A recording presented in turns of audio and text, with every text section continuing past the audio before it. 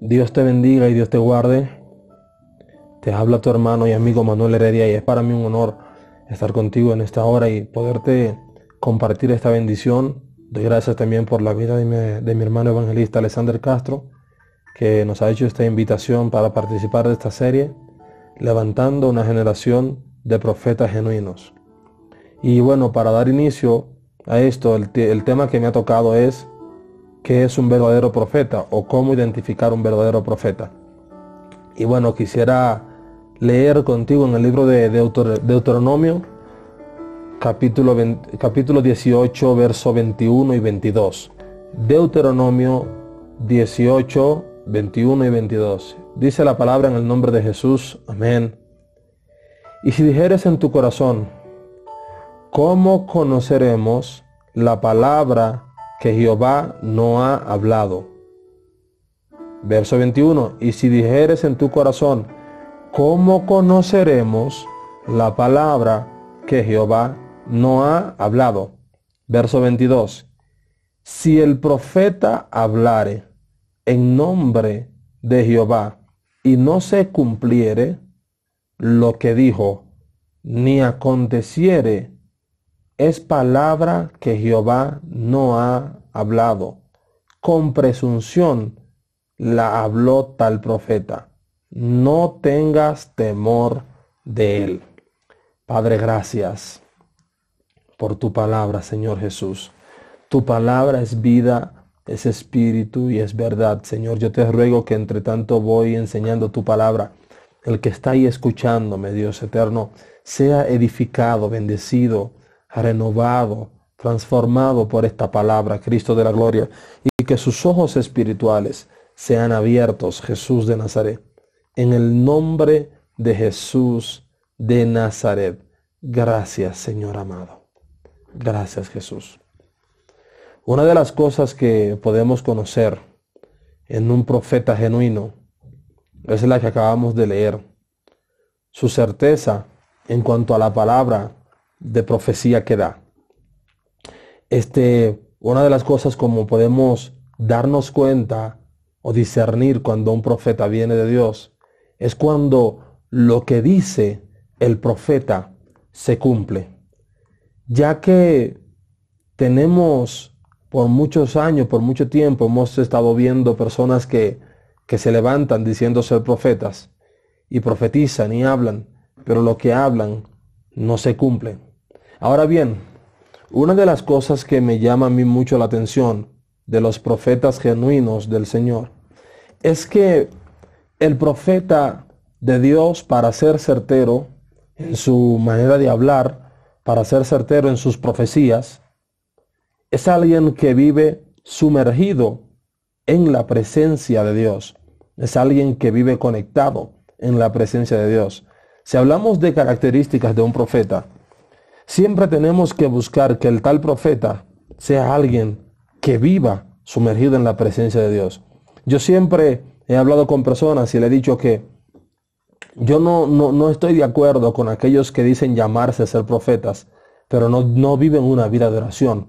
Aquellos que dicen llamarse ser profetas, pero no viven una vida de sumersión en la presencia del Señor. Porque una de las cosas que tienen los profetas de Dios es que su tiempo está dedicado al Señor, es que toda su vida está dedicada a servir a la presencia de Dios. Entonces, si tú que dices ser profeta, si tú como profeta de Dios no tienes tiempo para buscar a Dios, no tienes tiempo para orar, es difícil, es difícil que tú puedas profetizar porque el profeta es un vocero de Dios en la tierra, el profeta es, es, el oído de Dios en los cielos y la boca de Él en la tierra. El profeta siempre tendrá que tener eh, los oídos puestos en el cielo y la boca en la tierra. Lamentablemente el caso, hoy tenemos un problema de una de profetas que se han levantado sin ser profetas por causa de que todos queremos lo que tenía el profeta Elías, todos queremos lo que tenía el profeta Eliseo, todos queremos lo que tenía el profeta Bakú, lo que tiene tantos profetas, el profeta Daniel,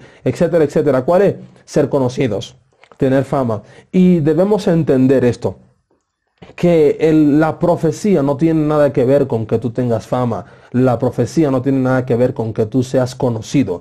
El profetizar es una responsabilidad delante de Dios en el que tú tienes un compromiso de hablar lo que has escuchado de parte de Dios. Por eso es que hoy en día tenemos esta gran batalla y esta gran guerra que mucha gente ya no cree eh, en la palabra profética, que mucha gente ya no cree en aquellos que se dicen ser profetas. ¿Por qué? Por causa de unos cuantos que se han levantado con nombre de profeta, pero que no son profetas. Y, esto ha llevado a que muchos no crean. Por ejemplo, vemos un caso muy peculiar. Hay una palabra que hace muchos días ya el Señor me, me reveló y la tengo guardada para en cierto momento ya predicarla. Y es que la Biblia enseña que había un profeta llamado Elías y dice que en cierto momento Elías lleno del celo de Jehová decidió convocar a los profetas de Baal, a los, que, a los profetas que se habían doblado ante Baal, que servían a, Jezabel en el, en el gobierno de acá. Y dice que el hombre decidió llamar a los profetas y les dijo, vengan acá, ¿hasta cuándo van a claudicar entre dos pensamientos? Si Jehová es Dios, seguida Jehová,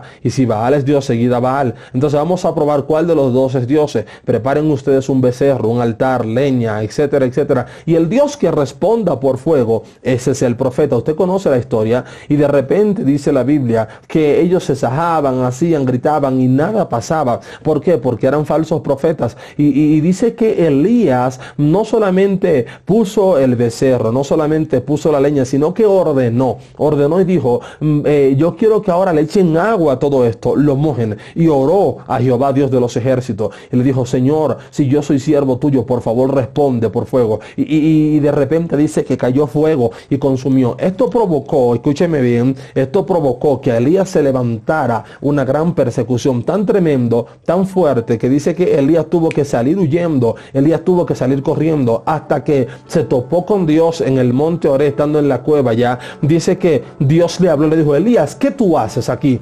Y le dice, Señor, yo he sentido un vivo celo por Jehová, Dios de los ejércitos, porque tú hijos, tus profetas, los han matado a todos, se han vuelto tras Baal, lo han matado a todos y también me buscan a mí para quitarme la vida. Y, dice que en este momento el, eh, Jehová Dios le habla a Elías, le dice, no Elías, ¿sabes qué? Baja por el camino en el que volviste y unge a fulano, a fulano y a fulano. ¿Por qué? Porque yo me he preservado, me he guardado de 700, de, de mil, perdón, que no han doblado sus rodillas ante Baal. Entonces ahí es donde donde yo vengo. Y comienzo a pensar, ¿no será que Jezabel eh, estaba actuando como estaba actuando porque tenía el mismo pensamiento de Elías? ¿No será que Jezabel no respetó a Elías porque quizás pensaba igual que Elías que no había más profetas porque los profetas que habían se habían doblado ante Baal, los profetas que habían habían desechado la palabra de Jehová? ¿No será que Elías, este, eh, Jezabel tenía el mismo pensamiento que tenía Elías? Aleluya Elías pensaba que el único profeta que quedaba era él. Y me imagino que Jezabel creía o, pensaba que no habría profeta sobre la tierra. Y Jehová le dijo, ¿sabes qué, hijo mío? Te tengo una noticia, tú estás equivocado. Tú no eres el único profeta y, no todos están muertos y no todos se han doblado ante, ante Baal. Todavía quedan siete mil que no se han doblado ante Baal. Todavía quedan unos cuantos que yo lo tengo preservado y guardado. Y de esa generación yo voy a levantar. Eso yo quiero decirte a ti en esta hora que aunque quizás tú hayas estado creyendo por mucho tiempo que no hay profetas genuinos, creyendo que no hay hombres de Dios con una palabra genuina de parte de Dios, pues sabes que todavía quedan hombres que aunque no tienen fama, que aunque no son conocidos, que aunque no andan en las redes sociales, que aunque no son conocidos en las, grandes plataformas digitales. Son hombres de Dios que, que, tienen una palabra certera de parte de Jehová, que tienen una palabra genuina de parte del Dios de los cielos. Y yo creo que este es el tiempo donde Dios va a levantar esa generación genuina. Y, eh, predicador, ¿y cómo yo conoceré que Dios va a levantar esta generación genuina? Si tú lo vas a conocer en que se levantarán con palabra de Jehová y la palabra que digan de parte de Dios tendrá cumplimiento. Tú lo vas a conocer en que se van a levantar cantar, alabado sea el Señor, con unas características diferentes, no con palabras de perversión, no con palabras deshonestas, sino con palabras de santidad, con palabras de paz, con palabras de amor, con palabras de restauración, con, con palabras que confrontarán tu alma y tu espíritu para hacerte volver al camino de Jehová,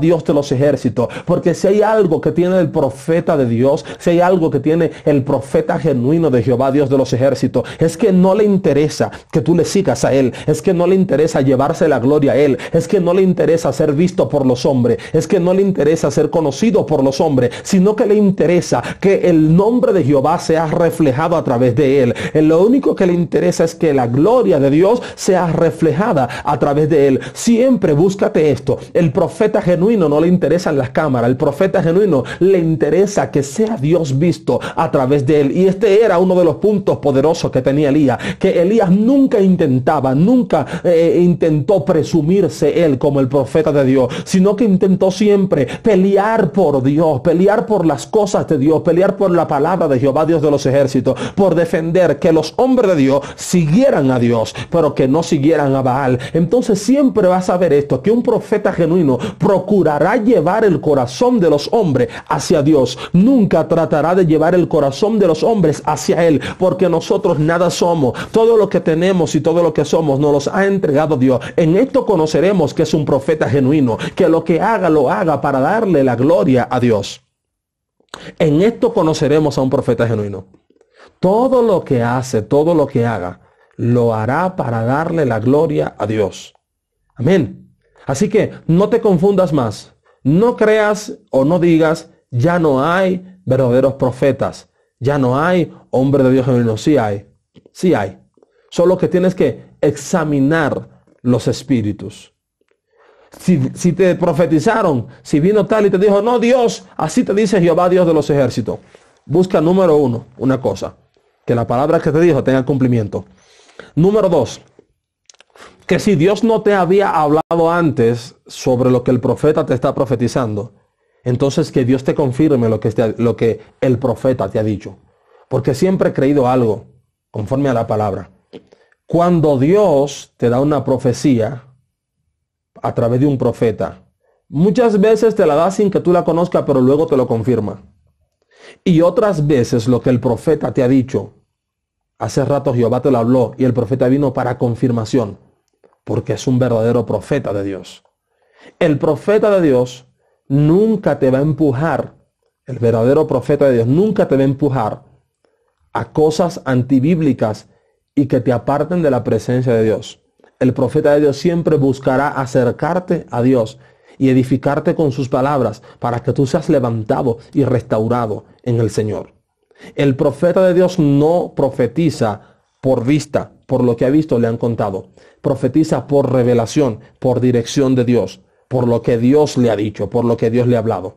Entonces, en esto identificaremos a un verdadero profeta de Dios. Yo creo que este tiempo de, de, encierre, este tiempo de apartados, este tiempo de, de soledad con Dios, es un llamado a los verdaderos profetas genuinos para que se levanten con una revelación genuina, dando la palabra que Dios ha dado, que Dios ha hablado, para que conecten los oídos a la eternidad y comencemos a profetizar lo que Dios en la eternidad ha hablado.